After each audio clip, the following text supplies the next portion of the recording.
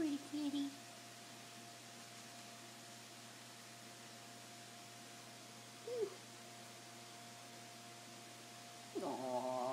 He's a nice boy.